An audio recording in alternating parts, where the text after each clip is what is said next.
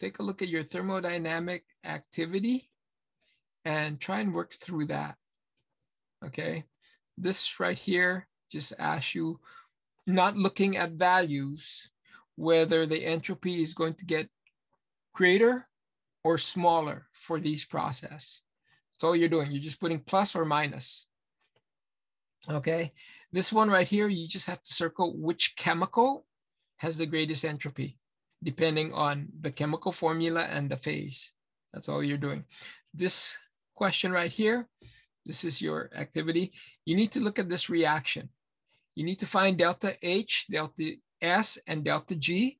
So you can calculate these values because that's what it's asking. And then you can calculate free energy using delta H minus T delta S, and then find free energy using products minus reactant, okay? And then answer whether that the this particular reaction spontaneous or not. This one right here, it shows you that um, for this following reaction, uh, hydrogen cyanide is being produced, that's HCN. And in the reaction, is the reaction spontaneous at high temperature or low temperature?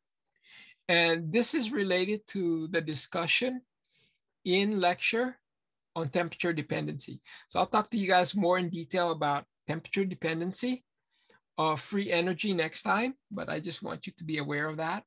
So if you can complete this particular activity for, for next time, then, then you're, you're good to go, okay? This one for each one of these reactions, calculate delta H, delta S, and delta G. There are four reactions that you guys need to do that. So that's basically products minus reactant for delta H, delta S, and delta G. Use the appendix in the lab manual. Why? Because I find out over the years, the books are not consistent, okay? The values that I give you in the appendix in the lab manual is based on the book that we are using. But if you look it up online, the values are going to vary. And so when we're grading these things, um, the, your numbers may not match to my key if you're using different values. So always use the appendix in the um, lab manual when you're doing these calculations. That way we're consistent the, the numbers aren't as important as you guys understanding how to do the, the math or to do the calculations. But in order for me to double check to make sure that you're doing the calculations correctly, I need you to use the correct numbers, okay? So the rest of these questions really pertain to this right here. What I will ask is which equations are endothermic? What you need to do is you need to look at delta H for each one of these equations and see which ones are positive. Whichever has positive delta H are endothermic. I might ask you which equation, which reactions here gives you um, higher degree of order in terms of entropy. So you, what you want to do is look at these equations and find your delta S and see which ones are negative. Which equations are always spontaneous no matter what the temperature.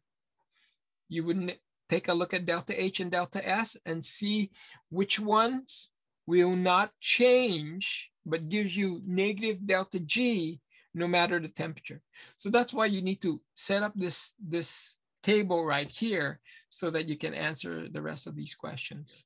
I talked to you guys briefly about this, but some of you, of course, are not on my lecture. So what I wanna do now is I want to, um, let's see, I want to share my screen and show you. So it's about thermodynamics and understanding the different aspects of thermodynamics. Um, when you think about thermodynamics, the ultimate question thermodynamics tries to address is whether the reaction or process will occur. So the question to be or not to be, the, the, the answer is it spontaneous or not spontaneous. Spontaneous meaning that it'll just go as is depending on the conditions you have. Not spontaneous means that maybe you need to put in a little bit of work, a little bit of energy to get that reaction going. And some reactions, no matter what you do to it, are never going to happen. Okay. Some reactions, you can get it to happen even if it's not spontaneous by changing the conditions, generally the temperature. So, so that's what we are looking at in thermodynamics. Okay. When we're addressing the question to be or not to be, will the reaction occur or not occur? We have to weigh two factors, two state function. The thermodynamic parameters that we are covering are called state function. Why are they state functions? Remember what state functions are. State functions are functions in which only the n and the beginning is, is the information you need to calculate the, the value, okay? Um, like for example, the distance between San Diego and um, San Francisco. If you know the my the the distance between that, then then that's a state function because you can measure uh, the beginning, San Diego, and you can measure the end, San, Fran San Francisco, and then that difference, of course, is going to be the distance. But traveling between here and San Francisco is not a state function. You can fly, it'll be short. You can drive, you can pedal, you can do whatever, different modes. So that's not a state function because the path by which you go about that process is going to depend on how much work you put in, how much energy you put in, how much time it takes. Okay, so that's not a state function. State functions like entropy, free energy, even electrochemical potential, since we're covering that, and um, enthalpy our state function. All you need to know is the beginning and the end. And that's what this particular graph shows you. In order to figure out whether this reaction is uh, endothermic or exothermic, you need to know the energetics at the final state and the initial state. Once you know the energetics and covered this in kinetics, remember, final minus initial, we get delta H reaction, then you can get the enthalpy of the reaction. You can also do so if you know the entropy and you can also do so if you know the free energy. But the path by which you go from the initial to the final, that will determine how fast this reaction proceeds. Now, sometimes the reaction is not very spontaneous. It could be an endothermic reaction. So endothermic reaction are generally not spontaneous in terms of energetics because it's uphill. Now, the driving force of whether that reaction will occur or not is the other factor, entropy. There's two factors at weigh that you have to consider whether the reaction is going to be spontaneous or not. One is the energetics. The other one is entropy, okay? The, the chaos, and we'll talk about that shortly. For those of you in my lecture, it'll be good review. It'll be good review. But some the, the, the way you get there is going to depend on the activation energy. Now, it may be unfavorable, okay? Maybe a reaction is um, endothermic, unfavorable, and maybe the free and the entropy. Yeah, it's positive, but not that positive. So the question is, um, if you make the temperature higher, then you certainly will be able to get more molecules to the other side. And the question is, well, if the reaction is unfavorable under higher temperature, why would you use higher temperature to drive that reaction? And, and the reason why would be, would be, yeah, it becomes less favorable. Delta G becomes more positive, but you also gotta look at the, the, the economics. If you can get more material in a less amount of time because of the kinetics, then you do so. Okay, you sacrifice the efficiency for the fact that you can get more for a certain amount of time. So you have to not only thermodynamics, you look at delta H and delta S, but in terms of overall economics, you look at thermodynamics and kinetics. Kinetics allows you to get your product quicker. Thermodynamics just allows you to, to get your products with less cost, less energy input okay, uh, if it's temperature dependent. So think about that in some of the questions in today's activity.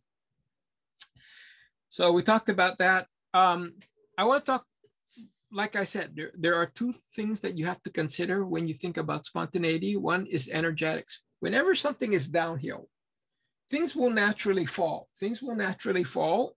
That's the state that um, objects like to lie. They, they want to go from a higher energetic state to a lower energetic state. Energetic state. That's a spontaneous process. Things do not spontaneously uh, levitate. Okay, it just doesn't. That's that's not working here on on on um, planet Earth. That's not the spontaneous process. But we can get things to levitate. We can get the reaction to to go in the endothermic reaction process if we weigh the other factor, entropy. Okay, entropy, and that's what we're looking here. The greater the entropy, the more likely that process will occur. And what exactly is entropy? Entropy is the, um, a measure of chaos. More specifically, it's the measure of microstates. So here, what we have is, um, here you see all kinds of chaos and that's what nature prefers. In fact, that's the second law of thermodynamics. Nature prefers a universe that has maximum entropy, okay? Um, but in terms of the mathematics, entropy has to do with available microstates. The more available a microstate is, okay, a, a system has a way of going from one state to another, its product. And the product can be arranged in different ways, okay? And these different ways, these different um, um, scenarios are the states or microstates. And the more microstates that are available, that's the most likely outcome. It's like trying to win the lotto, okay? Uh, there's only going to be, what, what is it these days? I haven't played that thing in, in years. Um, you got to get all five numbers correct, okay? So there's like million, one in so many millions of chances. Well, that sequence of number is only one microstate in millions of millions different arrangements. And so the chance of you winning the lotto is more likely to occur than you winning the lotto. Now, it's not an impossibility, but it's highly improbable. Okay, that's what we like to say in chemistry. So, in terms of the scenario that you see here, you see there are four gas particles in two chambers that are connected by a tube and it's evacuated. So these particles are free to roam. And so what are the different arrangements? Well, the different arrangements that all four particles are on one side, or three of the four particles is in one side and one particle is on the other, or two particles is in both sides of the uh, chamber. What are the probabilities of these different scenarios? Well, four particles on one side, at least to the left, that's one three particles on the left, one particle on the right, right? That's four, okay? Uh, two particles on each side, that's six.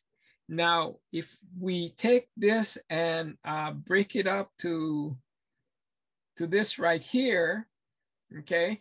So this is one, four, six, but then we have to look at the other scenario in which the four, three particles are in the other side. So that's four, and then this is one. But the highest probability of occurrence is when both uh, chambers have two particles apiece. So that's going to be the state of the greatest entropy because it has more available microstates. That we that's what we mean by entropy. Okay, more available microstates. That's in mathematical sense. And nature prefers that we go to a state we go to more microstates. That that's the event that will occur. That that's basically what entropy has. And so when we look at different systems, and this is uh, related to your first question in your activity, and we want to see okay, which one has more chaos? That's what we're addressing. Copper at 273, copper at 295, copper at 298. Well, temperature plays a role because temperature monitors molecular motion. And so anything above zero, the substance, the material, is going to start vibrating. And so when it's vibrating on one state versus the other, there's going to be more microstates of where that particular material is in space-time, okay? When it's vibrating, it's going to be here and there. And the higher the temperature, the more vigorous the vibration. So the higher temperature, the more microstates you have available if something is slowly vibrating versus something that's highly vibrating, the, the, the thing that's highly vibrating, and then of course, as you increase the temperature, then it's going to be moving around as it goes from a solid to a liquid to a gas. So uh, again, which one's going to have greater microstates? The one at higher temperature because it's going to have more energy, it's going to have more vigorous vibration. Which one has higher entropy, a solid or a liquid? The liquid, because the liquids are free to, they're not confined to the XYZ plane anymore. Yeah, it's vibrating in XYZ plane as a solid, but now as a liquid, they're, they're tumbling. They're free from each other. And then gas, they're totally separated. So the gas is going to have a much more greater entropy than a liquid, and liquid will, ha will have a greater entropy than a solid. Again, it's the way we envision these microstates. The gas, the different place these particles can be, is going to be more available more often than in the solid. It has a greater entropy. So of course, when we answer this question, we say that at 298, copper solid is going to have a greater entropy. Um, sodium, solid, liquid, or gas, I just said the gas will have a higher entropy. So here it would be the gas for water, the gas as well for carbon. It would be, if we can take carbon, there's two forms of carbon, diamond and graphite. Which one's more ordered? Diamond's more ordered. So graphite's going to have the greater entropy versus the diamond. Remember that diamond is uh, tetrahedral structure in which carbon is bound to four other carbons. On the other hand, graphite is sp2. It's trigonal planar. It's basically a sheet. That's why graphite is a really good lubricant because what happens is that there's one layer of graphite, another layer of graphite, and they can slide amongst each other. So the carbon can move. So that's greater entropy. Okay, but if we were looking at graphite in the solid, liquid, or gas, of course, the gas would have a higher entropy. So just knowing phases and knowing microstates, we can predict which one's going to have the greatest entropy. Now here, this is a little bit tricky. What we have for these is the dissolution. So the dissolution is sodium, chloride, solid, going to sodium ions and chloride ions, because that's what happens when something dissolves, okay? And so which one's going to have entropy? Um, the solid or the aqueous form. This is not liquid form. Of course, in the aqueous form, they're separated, but the water is going to be responsible for hydrating these ions, stabilizing these ions. So there's a degree of organization of the water to these ions. The question is, is the solid sodium chloride and the water more ordered than the sodium, sodium chloride ions being surrounded by water. Okay. And so that's something that we need to discuss because it depends. In some cases, when you dissolve something, the entropy does increase. In some cases, when you dissolve something, the entropy actually decreases. Surprise. Okay. The entropy actually decreases. Why? Because the ions that forms are going to demand that the water be more ordered around it. And so the entropy decreases when we look at products over minus reactant. So we'll, we'll take a look at that and look at the results, and then we'll take a look at these as well. So, so what is the answer? Well, the answer is the following. Okay. Um, here, the entropy of 298 is greater than 295 versus 273. That, that's what is expected. Here, the entropy of a gas is greater than a solid. That's expected as well. Here, the entropy of the gas is greater than the liquid. That's expected as well. Here, the entropy of the gas is greater than graphite. Okay, graphite has an entropy of 5.7. Uh, the gas, graphite gas, 158. Expected. When we dissolve something from a solid and it goes into water, the entropy increases. That's expected. Here, the entropy decreases. So it goes from 150, 167 in the solid, but when you put it in water, it decreases to 158. In other words, the product, when, when aluminum chloride dissolve, it actually is more ordered. Why is that? Well, the reason is because of the charge of aluminum. Look at aluminum, it's positive three.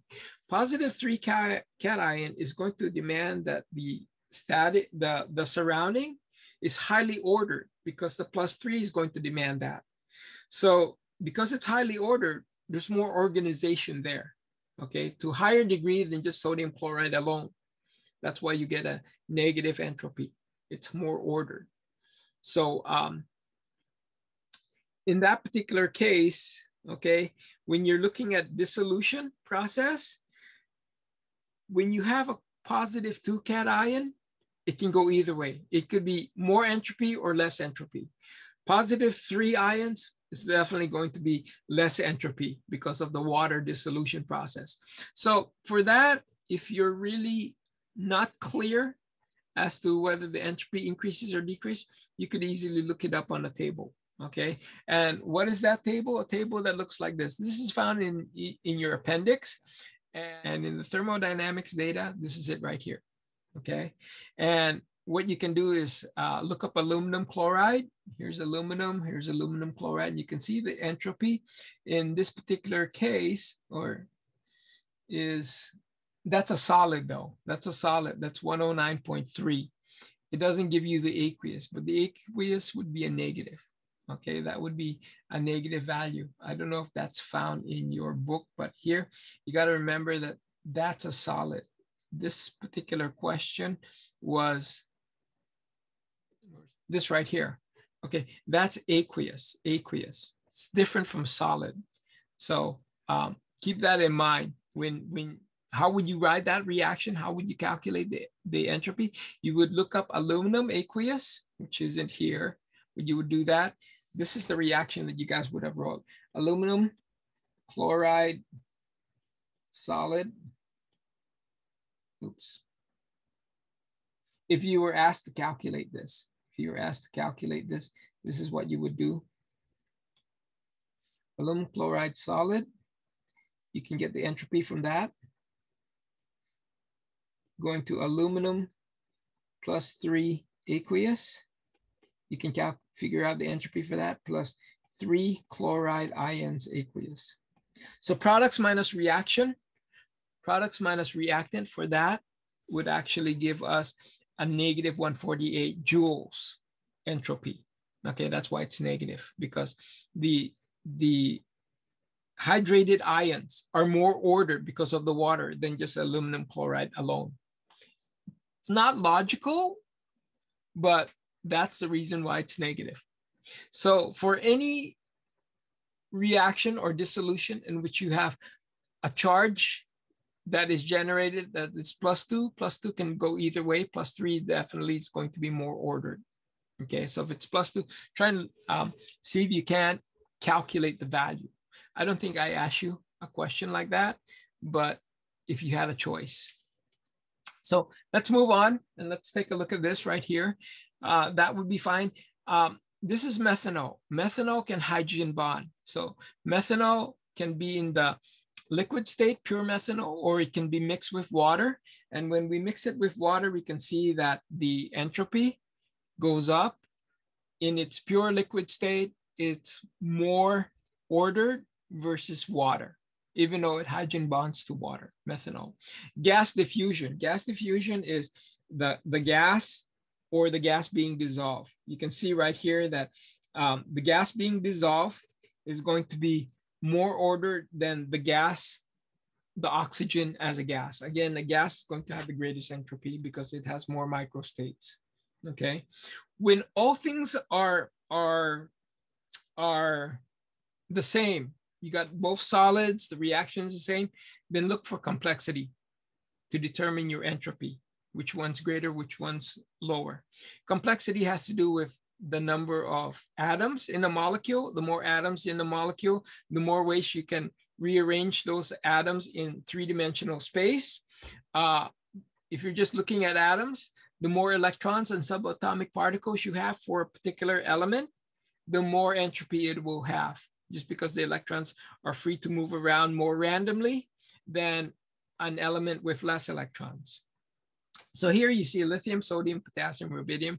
Rubidium is going to have the greater entropy. Why? Because it's a bigger atom. So these are just examples that will help you um, address, answer the first question of your activity. And the first question of your activity is basically if the product has more available microstate, the entropy goes up, you would put positive. Does the product have uh, is more organized compared to the reactant, the entropy would go down. You put negative. And then here, these are the questions that I was just um, asking. You look at these three systems right here.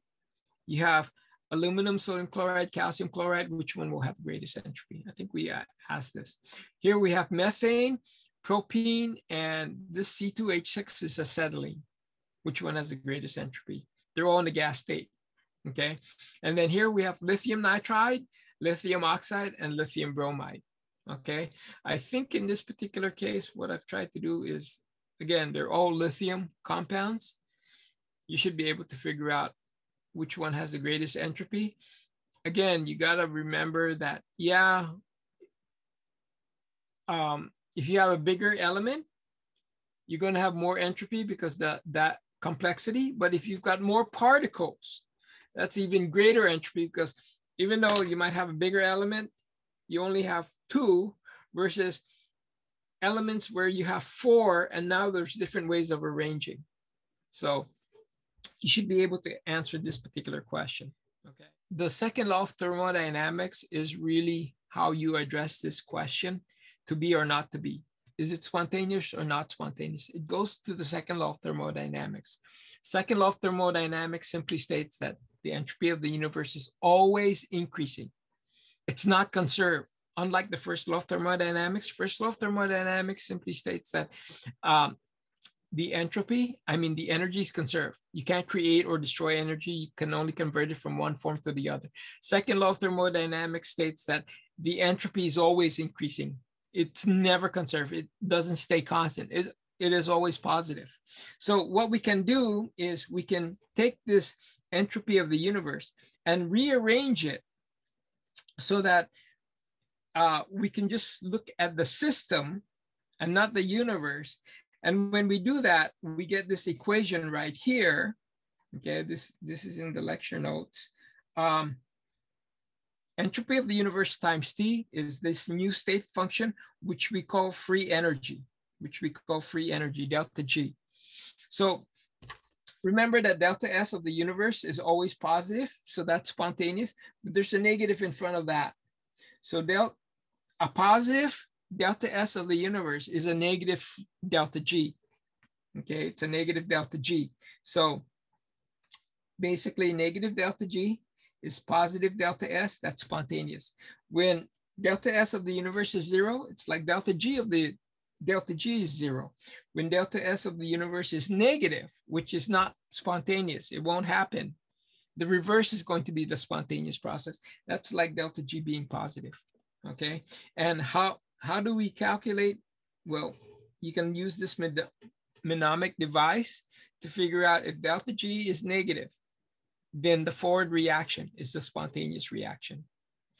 If delta G is positive, then the reverse reaction is the spontaneous reaction. And if it's zero, it's sitting down here at the bottom of this bowl. Okay. And this is the reaction that we have that relates free energy which is related to the entropy of the universe, to the enthalpy and the entropy for a system, okay? Now, uh, I wanna go ahead and move forward. You can calculate free energy either through T minus D, free energy equals delta H minus T delta S, or you can do products minus reactant. There's two ways of calculating free energy. In fact, there's more than two ways. There's a number of ways because free energy is so important. Um, so here's an example. I have this reaction. It's basically the combustion of methanol. Methanol and oxygen produce carbon dioxide and water.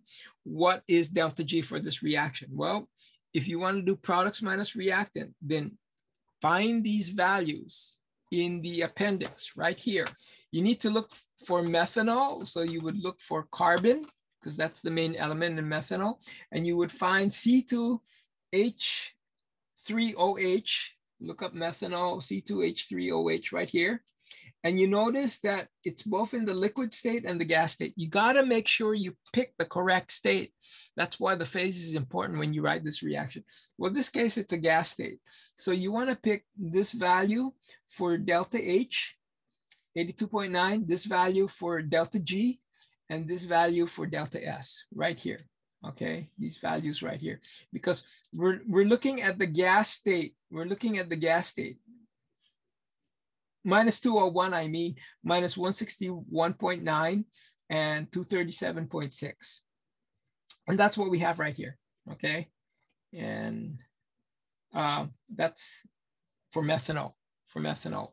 And then you would also look it up for oxygen and carbon dioxide and water. You have to use this table to find those values. But the calculation is not difficult. Calculation is not difficult. Once you do that, here, here they are for all these chemicals as found in the table. Then you can calculate products minus reactant. It's always final minus initial. Products is your final chemical in a reaction. Reactants are your initial. So always final minus initial. And when you do that, you get a minus 1351.88 kilojoules. This is kilojoules. Positive 92.32 joules. Entropy is in joules per mole or, or joules per Kelvin. We already took care of the moles because we multiplied by the coefficient in the balance equation. Notice the two have different units. One is kilojoules, the other one is joules. So when you combine it, make sure that you convert one to joules or the other one to kilojoules. Otherwise, you're gonna get messed up. That's a common mistake that I see. So if we can use that right there, by the way, without doing any calculation, a combustion reaction is always exothermic. It always generates heat. That's consistent with that negative sign. Combustion reactions are always exothermic no matter what. And then if you look at this reaction, we have five particles in the reactant, six particles in the product. Entropy increases because you got more, more chemicals in the product. So delta S should, should be positive, and that's what you see right here. So before you even do the calculation, you should have an idea of the signs of both delta H and delta S in general, okay? Then we can, we can do the products minus reactant. I mean uh, delta H minus D delta S, and this is what we get. And if we compare that to delta G, products minus reactant, this is what we get. And it's pretty close. It's uh, difference by a tenth of a kilojoule. Okay. So again, I want to write this right here. Delta G equals delta H minus T delta S. This is important because when delta G is negative, that's spontaneous. It can only be negative if delta H is negative and delta S is positive. Under that condition, when delta S is positive, and if you think about it, things becoming more chaos is spontaneous and things that are always decreasing in energy is always spontaneous. So together, the, those two concepts, without even looking at the signs, suggest it's going to be a spontaneous process no matter what the temperature. Things that are more chaos because of the second law of thermodynamics and things that are downhill energetically, always spontaneous. On the other hand, the opposite is true. If the um, energetics is always uphill, uphill is not a, a spontaneous process, and you get more organization. That's always going to be non-spontaneous always going to be non-spontaneous under any temperature. So for this sign right here, spontaneous and, and, and um, exothermic, delta G is always, well, matter the temperature, negative, spontaneous. On the other hand, because remember, a negative here and a positive here makes that whole thing negative, and a negative plus a negative is, is more negative, okay? Uh, on the other hand, if our entropy is more organized and our enthalpy is endothermic, then this will always be positive, always be positive. When the signs are the same, delta H and delta S are both negative or delta H and delta S are both positive, then the temperature defines the spontaneity of that reaction. And this is what we have right here. Okay, let me just move on from this. This is what we have right here. Um, this is just an example of um, spontaneity in terms of phase change, but take a look at this right here. This is what we have right here. Um, this is just an example of um, spontaneity in terms of phase change. But take a look at this right here. We've already talked about that, but suppose both of them are negative. So in other words, the reaction is exothermic, but the entropy is more organized. Which one is going to determine free energy? Well, that's where T comes into place. At low temperature, this becomes the dominant species because a number multiplied by a small number is going to is going to give you a very small number. So this is going to be negligible at low temperature and delta H dictates the direction of the reaction. Because it's exothermic, delta G therefore at low temperature will be important and the reaction is spontaneous. But as the temperature starts to creep up, then T delta S becomes more bigger than delta H because a big number multiplied by uh, en entropy now overcomes the enthalpy value. And so at high temperature, okay, this becomes the dominant term, this becomes negligible.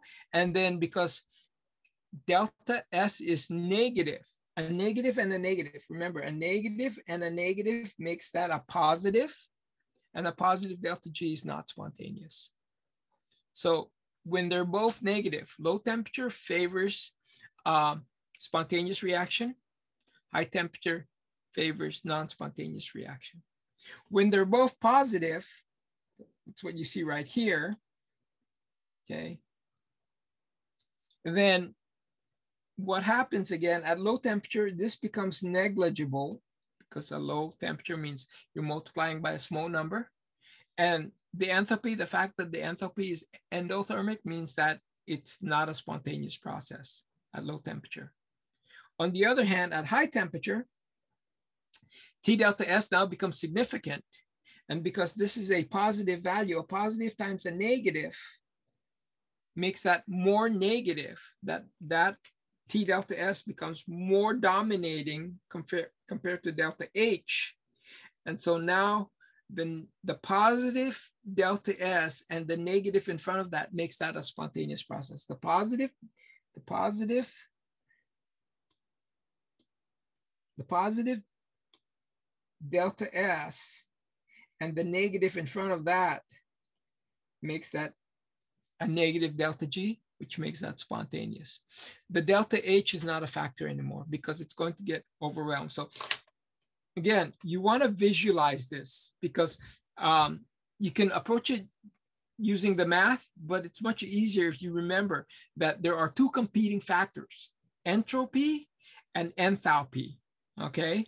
When both of the signs are competing or both of the signs are the same, then the, the reality is that both concepts are competing against each other in terms of spontaneity.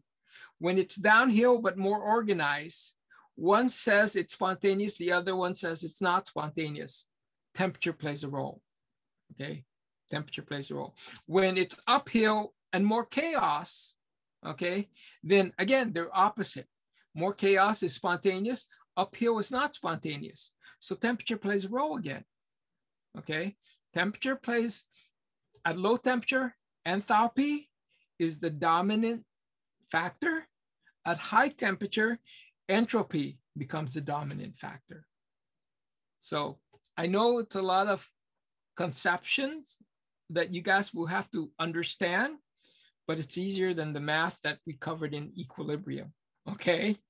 Uh, so just try and make sure you it's crystal in your mind in terms of how these two factors are um, dictates the value of free energy. That's that's one thing that you need to remember. Class, by the way, when delta G is equal to zero and delta G is equal to zero, when we have a phase change. Delta G is equal to zero at equilibrium. When does equilibrium occur? When the solid converts to a liquid. The, the phase change, the freezing and, and melting point of a substance. That's an equilibrium process. Or the, the boiling of a substance when it goes from a liquid to a gas, that, that's an equilibrium. Delta G is equal to zero for that because it can go either way. Well, when delta G is equal to zero and it's still delta H minus T delta S, you can actually figure out that temperature in, in which it either switches from spontaneous to non-spontaneous or non-spontaneous to spontaneous. And that equation is this right here. T equals delta H over delta S.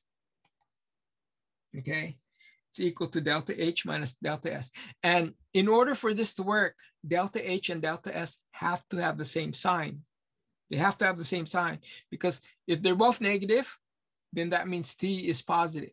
If they're both positive, that means T is positive. If one is positive and the other is negative, that means T is negative. There is no such thing as a negative Kelvin. There is no such thing as a negative Kelvin. That's why when you look at this right here, right here, okay, when these things have opposite signs, it's independent of temperature because there is no switching temperature in which it goes from spontaneous to non-spontaneous. It's either spontaneous all the way, no matter what the temperature, or it's not spontaneous all the way, no matter what the temperature. It's only when they have um, the same sign, it's only when they have the same sign that you have a switching temperature. And the switching temperature is the temperature in which it goes from spontaneous to non-spontaneous or vice versa. This reaction right here is carbon dioxide and water gives you glucose plus, plus oxygen. This is the reverse of photosynthesis. Okay, so in order to, before you even start this reaction, you guys know photosynthesis, right? A lot of you have taken biology. Is photosynthesis a spontaneous or non-spontaneous reaction? Do you need energy to, for that to occur or not? Okay, um, so what is the reverse? So before you start this problem, you should know the sign of delta H and delta S. And then just find these values, the delta H and delta S in the appendix, okay? Um, is the above reaction uh, spontaneous in the forward or under standard state conditions? And again, you're just trying to confirm whether delta G is negative. If delta G is negative, it's spontaneous forward direction. This right here has to do with this reaction, okay? And yeah, hydrogen cyanide's there, but you don't need that value to calculate this. You just, the question is, why would you do, why would you drive this reaction at higher temperature, even though it's not, the delta G becomes more positive, becomes less favorable at high temperature. And I think I talked about that you don't need numbers on this. It's sort of like a um, qualitative answer. Give me a reason. Give me a reason. That's why I didn't think you need H, um, the thermodynamic data for HCN because okay, I don't reason. Want... For this one, so just do products minus reactant for delta H, products minus reactant for delta S, and products minus reactant for delta G for, for four of these reactions. And then when you have these numbers for the reactions, then you can tell me which of the above reaction is exothermic and endothermic. You're, for thermicity, there's only one thermodynamic parameter you're looking at. That's enthalpy. Okay, that tells you whether the energetics is going to be downhill or uphill. Which of the above reaction is spontaneous under standard state condition? When you're talking about spontaneity, you're looking at free energy. Okay, free energies is what determines spontaneity. If it's negative, it's spontaneous. If it's positive, it's spontaneous in the opposite direction. It's not spontaneous. Uh, which of the above reaction could be made spontaneous by increasing the temperature. So in other words, um, the delta S is positive because could be made spontaneous. A positive entropy means that the, um, the higher the temperature, the negative T delta S becomes more negative and then it becomes uh, bigger than delta H. So think about delta H minus T delta S, what we just talked about. That's why I wanted to spend some time about temperature dependency, because then you can address these questions. Which of the above reaction will always be spontaneous? I think we talked about that in the last discussion. Which of the above reaction will, will become non-spontaneous by increasing the temperature? We talked about that as well. That's why I wanted to talk to you guys about the temperature dependency. That, that's really an important concept. of spontaneity. Okay, so that's that's basically your activity. That's basically